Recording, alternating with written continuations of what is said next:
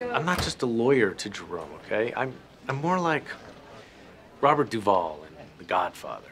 He's consigliere. Okay. What? Uh, nothing. Just if you're his Robert Duvall, you're coming to me. So technically, I'm your Robert Duvall. You're my Fredo.